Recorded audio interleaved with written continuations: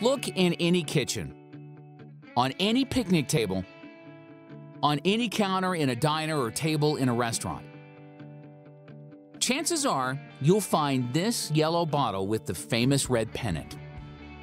French's Yellow Mustard, America's number one selling mustard.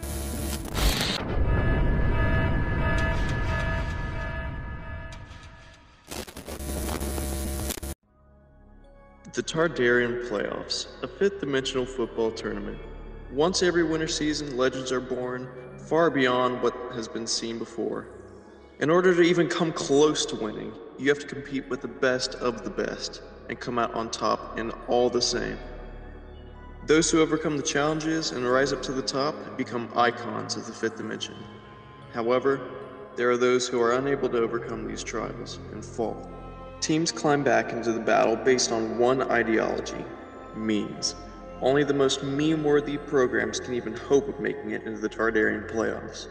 Just like the Crimson Tide and the Sooners, eight new teams from outside the league will make an appearance into this year's playoff that many have not seen in a while or even seen at all. However, that is not what is to be revealed tonight.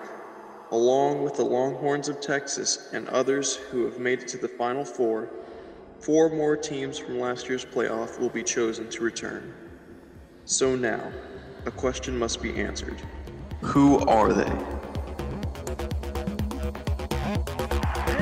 they come onto the field at Neyland Stadium. It's football time in Tennessee. From 54 yards out. Here it is.